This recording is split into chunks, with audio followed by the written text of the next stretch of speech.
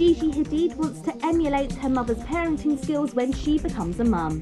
The model is expecting her first child with her partner Zayn Malik, and as she marked Mothering Sunday, she revealed she would love to be like her mum Yolanda. Marking Mother's Day on Sunday, May 10th, she shared a family photo of the duo on social media and wrote that her mother is the best she could ever ask for. Yolanda then took to her own Instagram account to share a nostalgic photo of her and her three children, Gigi, Bella and Anwar, and thanks her brood for teaching her the true meaning of unconditional love and for igniting the deepest part of her soul.